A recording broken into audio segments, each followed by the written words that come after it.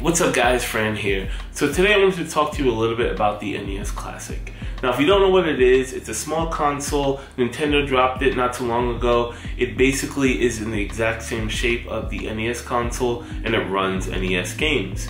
It's packed with about 30 games and people have been going pretty crazy over this device. It's sold out everywhere, Walmart, Best Buy, GameStop, wherever you can think of. The only places you can pretty much find it is Amazon and eBay, and it's ridden with a bunch of resellers who have been pricing it anywhere from today when I checked it, about $250 all the way up to people on eBay selling it for, you know, upwards of 500, 600, and the highest we saw was about 30,000. See, me growing up, I've always been a pretty technical guy, so I was always into ROMs and emulators. So since the NES Classic isn't exactly readily available at this time, I decided to show you guys how to make your own NES Classic, or rather your own RetroPie. RetroPie is an emulation station that can run Super Nintendo, Sega Genesis, MAME, you name it. It runs a host of different games. So let's run through it. Okay, so for this build guide, you're going to need a few parts. First off, you need a Raspberry Pi, preferably a Pi 3, but a Pi 2 will work as well. At the time of recording this video, you can find it on Amazon for about 29 to 35 bucks.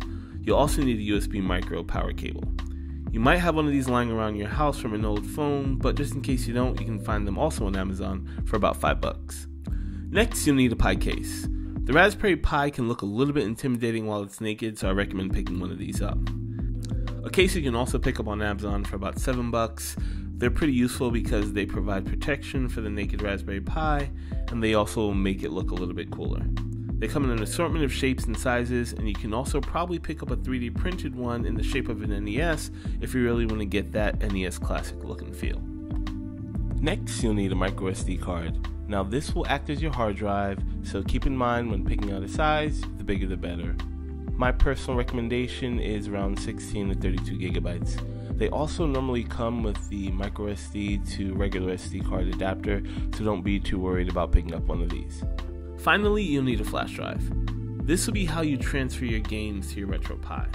So try to pick up something that's either the equivalent size or smaller, but try not to get anything larger.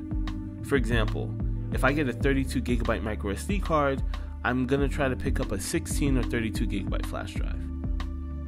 Now let's talk controllers. So this is where your mileage may vary.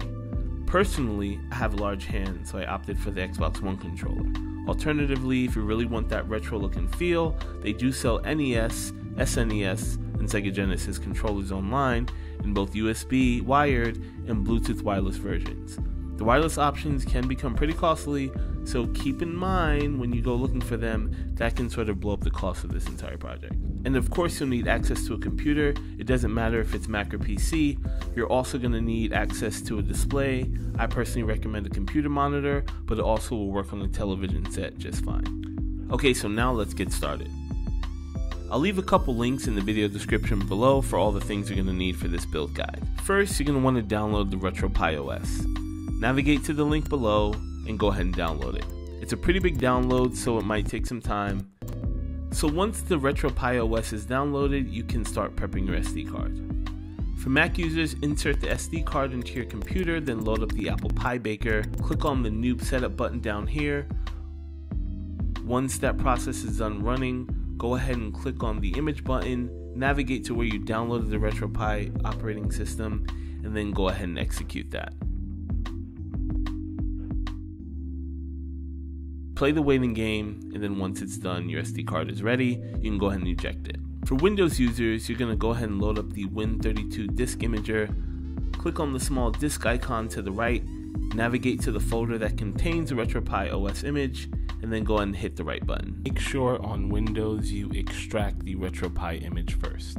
Okay, so now you're going to take that ejected SD card and you're going to go ahead and insert it into your Raspberry Pi. Your next step is to plug in your controller, display cable, and then the USB micro power cable in that order.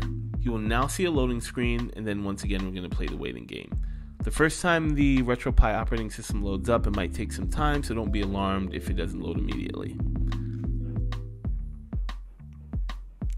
Okay, so once OS is loaded, you'll see the screen to go ahead and configure your controller, run through the process. It's pretty simple.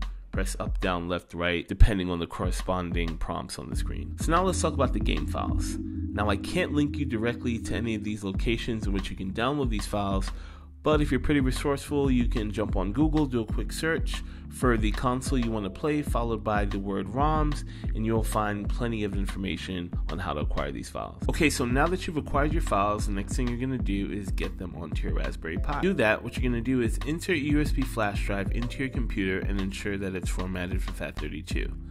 For Mac users, open up Disk Utility, select the drive on the left, click on the erase button at the top, and then select FAT32 from the drop down menu. Click for Windows users, go ahead and navigate to this PC, find the drive in the menu, right click on it, click Format, hit the drop down menu and make sure that FAT32 is selected. Go ahead and execute that, and once again, play the waiting game. Once you've completed this step, go into that freshly formatted USB drive and create a folder labeled RetroPie. Go ahead and eject this USB drive and then insert it back into your RetroPie. What you're going to notice is there's going to be an activity light flashing if there is an activity light on your USB drive. If not, you can let it sit for about one or two minutes. Once you've waited out that time, you can go ahead and remove the USB drive and then insert it back into your computer. What you'll now notice is that there are a number of folders that have been created on the drive. These folders represent each one of the emulators that the RetroPie now supports. For example, if I want to play any SNES titles, what I'll do is take those special SNES files, drop them inside of that SNES folder, and voila, I'm done. So once you've copied over your files to your USB drive, you can go ahead and once again eject that and then insert it back into the RetroPie. This time it'll be a little bit longer because it's now copying files off of the USB drive onto the micro SD card, and notoriously, this is a longer process. You can go ahead and now reset the RetroPie, and voila, you will now have menu options for each one of the games you loaded into those folders.